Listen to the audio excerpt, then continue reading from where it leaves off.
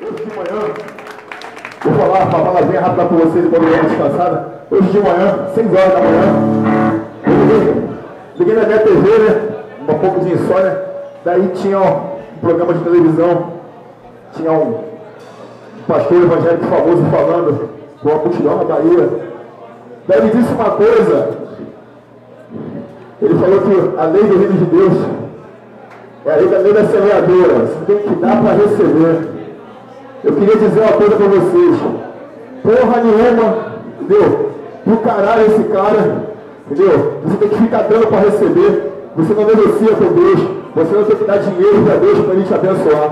Sacou? Até porque nosso dinheiro é merda. Sacou? O recado que eu queria dizer é o seguinte. A lei do reino de Deus é a lei do amor. De você virar outra face. Entendeu? De você ajudar o seu próximo. Falou? Foi para isso que Jesus veio ao mundo. Não foi para implantar porra de religião nenhuma. Essa música chama-se Feito.